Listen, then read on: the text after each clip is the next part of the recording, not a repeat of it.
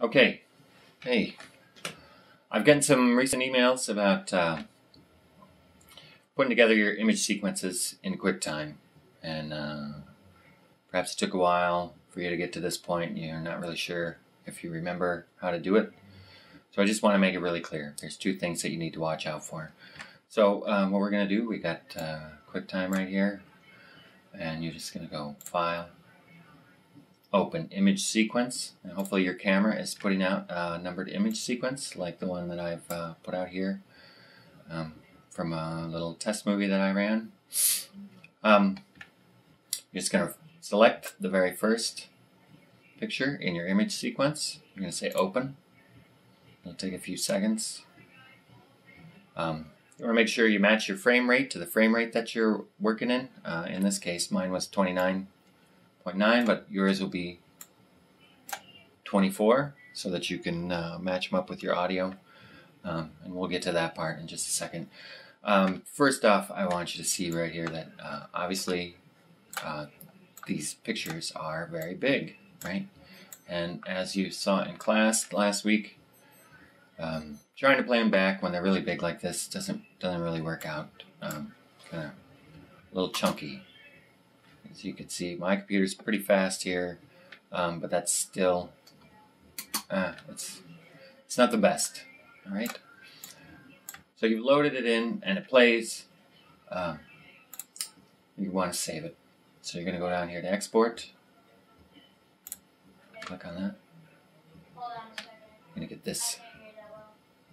It's going to have the movie extension here. You're going to say export movie to QuickTime movie, right? And this will probably say something like default settings or something like that. And what you're going to do is you're going to go to this options.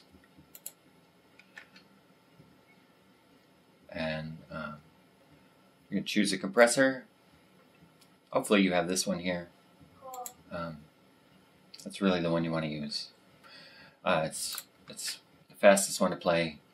Leave this at high. Leave these at the defaults. That's fine.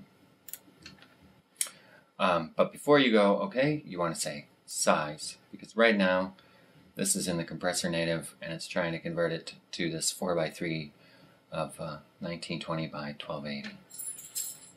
Alright, so what you want to do is you want to go down here and you want to say, I already know that mine is, is 4.3, right? Um, you could say this here, NTSC 720 by 480, that's standard DV resolution. You could say this down here, HD, or you could compress it to this. Um, not really recommended. Uh, I'm going to choose this 720 by 480, 43. Say OK. I'm going to say this here, preserve aspect, aspect ratio by letterbox, which means if it is different than that, and I know it's not here, but for yours it may be, um, it will either have black bars on the top or on the sides in order to preserve the aspect ratio of your movie. So I suggest you do this here. Okay. Click OK. Click OK. And uh, I've already done it here, so I'm going to say save. I'm going to tell it to replace it. We're going to have some time pass here. This is a really important step because, as you saw last week, um, if you don't take this step, uh, you're going to come on Tuesday and you're going to try and play the movie, and it's it's going to be disappointing for everyone. So don't disappoint everyone. Resize your movie to a standard, preferably DV size, so that so that we don't have any trouble playing it, right? All right, I think I'm probably going to edit here, and uh, I'll be right back as soon as this movie is done exporting. All right, so it's done. We've got this great big one here. I'm going to go ahead and open the one that I've resized. Looks like that's it. And there. It's a nice, manageable size. Plays really great. But what? There's no sound, right?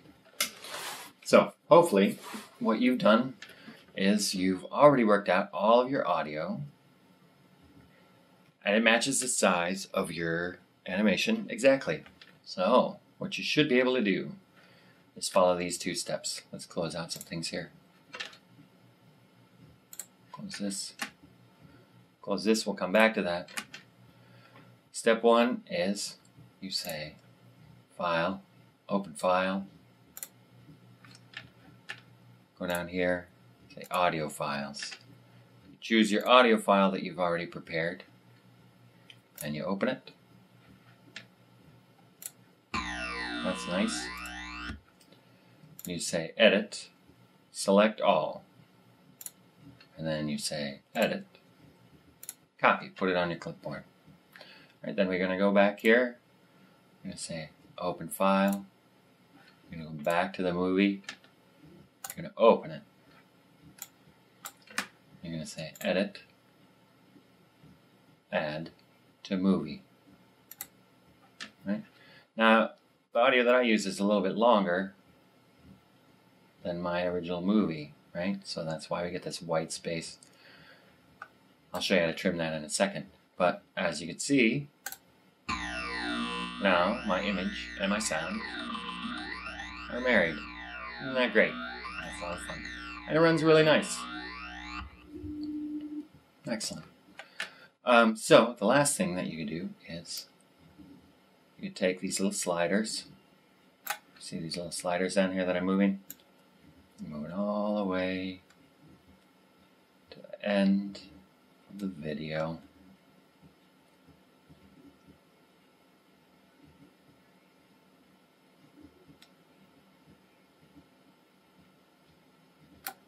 That's the end. Up here. Trim to selection. Everything is under control. Pretty fantastic. just gonna say save. And now, if we close this, close this, and on Tuesday night, we should be able to come into class. I'll have it hooked up. I'll say open. I'll say, oh, look at that. There's your movie. I'll open it. I'll play it. We'll just have a really, really great time. Right? Right. Uh, thanks. Bring your pieces on Tuesday night. We're going to have a little screening.